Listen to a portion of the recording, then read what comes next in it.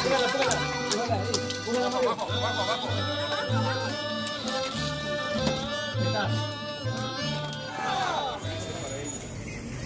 ¿Qué pedimos para nuestra compañera Elena Ferrer? ¡Justicia!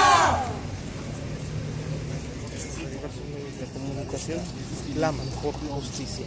Que este caso no quede impune, que el amor por el Marilena Ferral no sea una estadística más, que las autoridades hagan su labor, que los responsables materiales e intelectuales paguen por este crimen. De la llegada del coronavirus a México, lo más importante es que estés informado sobre los síntomas y las medidas de prevención para el cuidado de todas y todos. Compártela con tus familiares y amigos. Este virus se contagia de una persona a otra. Para evitar el contagio, evita tocarte la cara, lávate las manos con agua y jabón frecuentemente, tápate la boca con el interior del codo al estornudar. Los síntomas generados por este virus son fiebre, tos, estornudos, malestar general como dolor muscular y fatiga, dolor de y dificultades para respirar en casos graves. Si tienes estos síntomas, llama al 800-012-3456 o acude a tu centro de salud.